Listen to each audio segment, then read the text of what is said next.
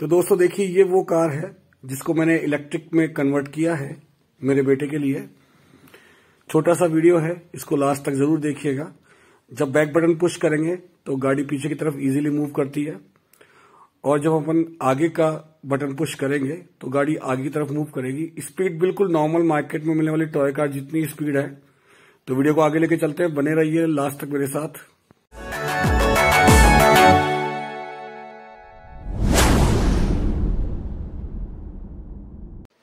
हम सबसे पहले इस कार के राइट साइड में यहाँ पे एक पुश बटन लगाएँगे जो एक्सीटर का काम करेगा और यहाँ ऊपर बीच में एक बटन लगाएँगे रॉकर स्विच जो रिवर्स और फॉरवर्ड का काम करेगा। अब पूरी बॉडी को खोल के फटाफट यहाँ पे हमें पहले एक रॉकर स्विच लगाना है। ये देखिए लग चुका है। अब इसका कनेक्शन करेंगे। कनेक्शन में आपको ध्यान रखना है कि थोड़ा हैवी तार यूज़ करना है ये वाला। इसमें 14 कॉपर्स वायर आते हैं क्योंकि मोटर का लोड दो से तीन एम्पियर का रहेगा। कनेक्शन इस चार्ट के अकॉर्डिंग होंगे। ये 16 ampere DP DT rocker switch है। बीच की जो पिंस हैं, उन्हें हम जोड़ देंगे मोटर से और साइड की जो पिंस हैं, उन्हें क्रॉस कनेक्शन करके बैटरी से जोड़ देंगे।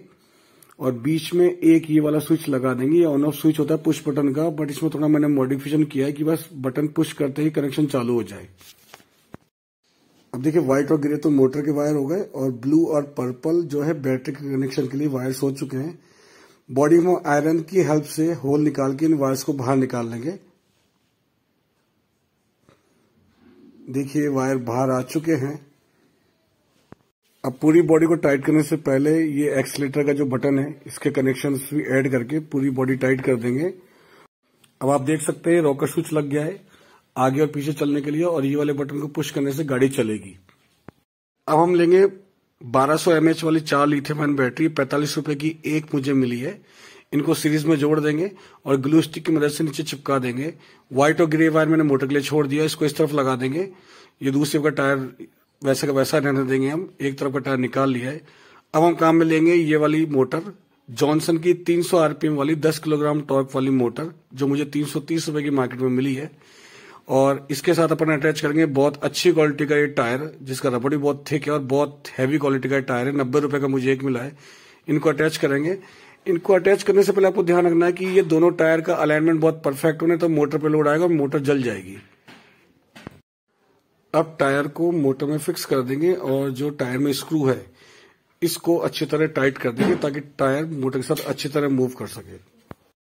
अब मेन काम है इस मोटर को अच्छी तरह यहाँ पे सेट करना। सबसे पहले ये जो मोटर की शाफ्ट है आपको बाहर निकली दिख रही टायर से, इसको दूसरी तरफ़ सपोर्ट देना बहुत ज़रूरी है। उसके लिए हम क्या करेंगे हम लेंगे ये आरओ का जो कनेक्टिंग कनेक्टर होता है आरओ के पाइप में लगा रहता है। इस कनेक्टर को ये जो साइड का वॉशर निकाल के इसको हम फनर की हेल्प से कट कर लेंगे। इसको कट करने के बाद में इसे ग्राइंडर पे अच्छी तरह फिनिश कर लेंगे। सबसे बड़ी बात क्या, ये जो होल है, मोटर की शाफ्ट की जो मोटाई है, उसको 100 परसेंट मैच करता है। ये दूसरी तरफ़ मोटर को सपोर्ट करेगा टायर को सपोर्ट करेगा, ताकि टायर टेढ़ा ना हो। आप देख सकते हैं, बिल्कुल बढ़िया ये सेट हुआ है। अब ये जो मोटर है, ये ऊपर नीचे मूवमेंट कर रही है। इस मूवमेंट को रोकने के लिए हमें दोनों तरफ़ सनबोर्ड के पीसेस को लगा देंगे।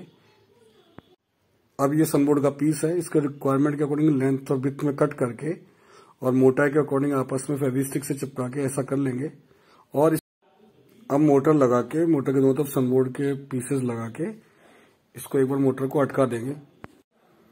अब फेविस्टिक से इसको अच्छी तरह एक बार और चिपका देंगे ताकि मोटर अपनी जगह से मूव ना करे। इसके बाद क्या करना है, इसको ध्यान से देखिएगा, वो बहुत ज़रूरी चीज़ है। अब हमें रिक्वायर्ड होगी इस लोहे की प्लेट की। इस लोहे की प्लेट का एक पीस तो अपन यहाँ कर देंगे और एक पीस को ये जो होल है, इसमें स्क्रू की मदद से बिल्कुल टाइट कर देंगे। ये देखिए मैंने रिक्वायरमेंट कर फोल्ड कर ली है। अब दो तरफ़ होल निकाल के इसको टाइट कर दे ताकि मोटर बिल्कुल अपनी जगह बिल्कुल टाइट फिक्स हो जाए। इस पूरे प्रोजेक्ट में आपको एक ही चीज़ का ध्यान रखना कि इस टायर का जो अलाइनमेंट है, पीछे वाले दूसरे टायर्स के अलाइनमेंट के बिल्कुल बराबर हो। इसका आपको बहुत ज़्यादा ध्यान रखना है तो मोटर टेढ़ी चलेगी तो मोटर जल जाएगी। अब देखिए, मोटर बिल्कुल टाइट हो चुकी है। अब इसका कनेक्शन कर देंगे, इसके तारों को सोल्डिंग कर देंगे अच्छी तरीके से। कनेक्शन हो जाने के बाद में हम एक बार चेक करेंगे कि रॉकर स्विच जब आगे की तरफ़ पुश है तो व्हील आगे की तरफ़ रोटेट करना चाहिए। ऐसा नहीं हो तो मोटर के कनेक्शन को एक्सचेंज करेंगे अपन। अब देखिए, यहाँ पे मैंने रॉकर स्विच को आगे कर रखा है। और अब मैं इसको ऑन करता हूँ तो व्हील आगे की तरफ़ मूव करना चाहिए। ये देखिए, आगे की तरफ़ मूव कर रहा है। अब रॉकर स्विच को अपन पीछे की तरफ़ पुश करेंगे। और अब चला के देखेंगे, देखिए बैक साइड में मूव कर रहा है। अब इसकी फाइनल टेस्टिंग करते हैं एक बार। तो ये देखिए दोस्तों, मोटर बढ़िया काम कर रही है, गाड़ी बहुत बढ़िया काम कर रही है। इस पर ध्यान रखना है कि बच्चे का वज़न लगभग ये 15 से 20 किलो तक आराम से ले लेती है। इससे ज़्यादा वज़न का बच्चा हो तो मोटर लोड नहीं लेती है। तो दोस्तों, अगर ये आइडिया आपको अच्छा लगा हो तो प्लीज़ लाइक करें, कमेंट करें, शेयर करें और सब्सक्राइब नहीं किया तो सब्सक्राइब भी करें। बेल आइकन को भी पुश कर दें। मिलते हैं दोस्तों नेक्स्ट वीडियो में। तब तक के लिए thank you very much. Bye bye.